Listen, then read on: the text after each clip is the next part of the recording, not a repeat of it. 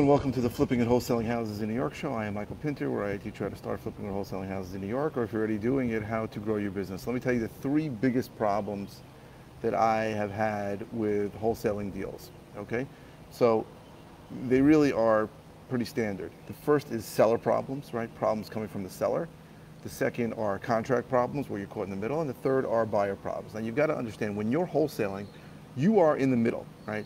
You are representing things to the seller and the buyer may screw you over and not allow you to, to do what you say you're going to do. You are representing things to the buyer and the seller can screw you over and also sometimes there's discrepancies in the contract. So let's go through some of these. So seller problems are you tell a buyer we can close and then the seller calls and says, you know what, I'm not ready to close. Or the seller said he was going to clean the place and you told the buyer it would be clean and the seller didn't clean it. Or there's a tenant and the seller tells you the tenant's going to be out and the tenant's not out. These things happen. So I remember one, one time I had a problem. Seller said he'd clean the place. Um, buyer said, I want to clean. I said, no problem. Seller's going to clean it. Get to the day before the closing. Seller says, I'll clean it after. I'm like, what? And it was a big deal. I think it was a six figure deal. And I had to hire, I hired a bunch of people from standing in front of Home Depot. I bought a big truck. I got some brooms, a lot of garbage bags, and I just had these guys come in and just clean the place out. But then the seller said, oh, some of the stuff, the seller was a hoarder.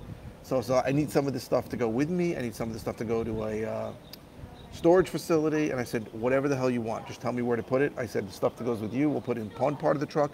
And I had to literally do these things. And these are things you do to make money, right? It's a business decision. Um, but these are the kinds of seller problems you can have where a seller represents something to you, and then the seller just doesn't understand that he has to do what he said he's going to do. Sorry, my laptop is perched on something that's not very standard, very solid. okay. Another problem that comes up is a buyer problem, which is obvious, right? Buyer says he's going to close, get to the day before the closing, buyer says he can't close. Sorry, my lender needs more time. Sorry, I changed my mind. Sorry, whatever the hell it is. I need four more days. These things happen.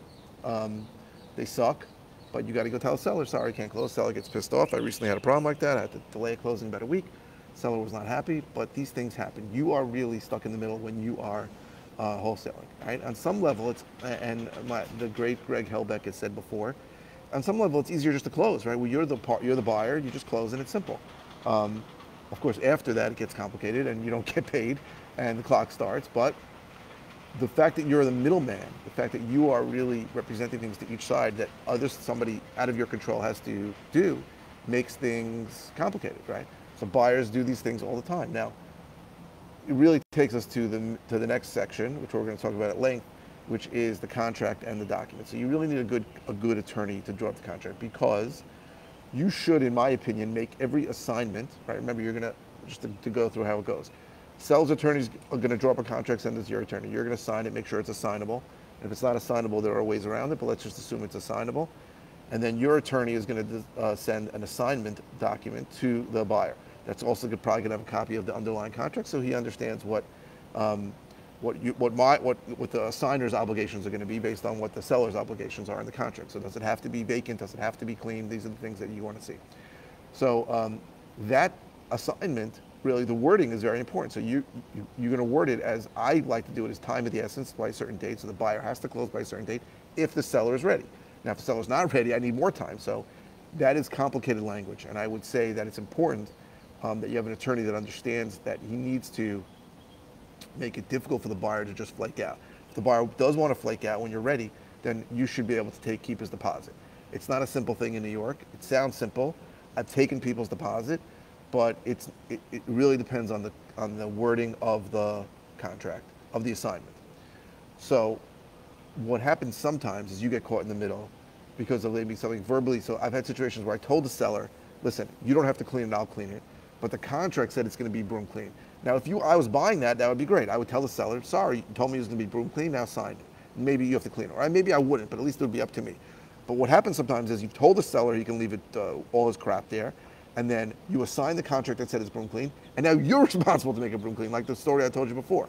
So you have to be very careful about your contracts. In some ways, if you are assigning the contract, you don't want to, in general, if you're buying something, you want to obligate the seller to do as much as you can. But if you are if you are assigning the contract, then you have to be careful what the seller is obligated because you're going to be obligated to do that. So it's very careful that you go through the contract. Standard contracts in New York have clause 26, which says no assignability. So that's something you need to be on top of. I I know everybody, the gurus say, oh, if a contract doesn't say it's not assignable, it's not assignable. New York contracts are not assignable. So it's important, sorry, my eyes bothering me, that's why I'm glasses. Um, it's important that you're very careful about what is, um, what the seller is obligated to, because when you sign an assignment, then you're obligated to make sure those things happen. So you need a really good attorney that's going to be careful about the, the wording of the contract that you're signing to buy and the wording of the assignment that you're signing. And you don't want to be caught in the middle because sometimes that's the third thing, you get caught in the middle where you're obligated to do something that the seller may not be. And people just came, so we're going to have to cut this short. Um, but that's basically the gist of uh, what you have to be careful when you're wholesaling. Those are the problems that I've come up with wholesaling. Um, I hope this was helpful. I want to keep talking, but there's somebody standing right next to me that's bugging the hell out of me. So, um, uh, if this, uh, so if you're interested in all the ways I can help you, go to howtoflipnewyork.com. If you're interested in finding out more about one-on-one coaching, go to coaching.howtoflipnewyork.com. If you are watching on YouTube, please subscribe. If you're watching on any media channel, please give a thumbs up. The likes really help me uh, with my SEO, my search engine optimization, and please keep the comments coming. I post five times a week, and I don't always know what to say, so any comment is helpful. Um, it can be about anything, doesn't even have to be a video you're watching. And if it's a simple uh, reply, I'll just reply with an answer. If it's simple, a simple answer to your question, if it's something I've covered before, I'll send you links to video, a video or videos on it. And if you are, if you ask me something new or something I haven't covered in a while, I'll do a new video on it. Thank you very, very much for watching.